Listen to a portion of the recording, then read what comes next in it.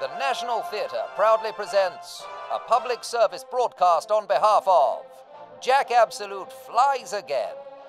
Are you sick and tired of boring plays about posh people? Then you need this, and this, and some of this, starring him.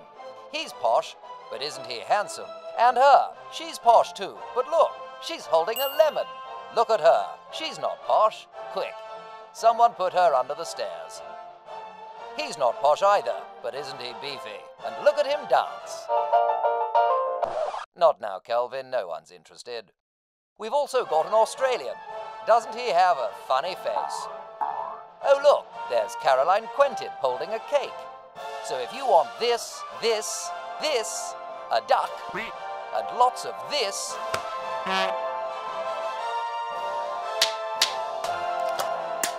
then come down to your local cinema and take to the skies as Jack Absolute flies again.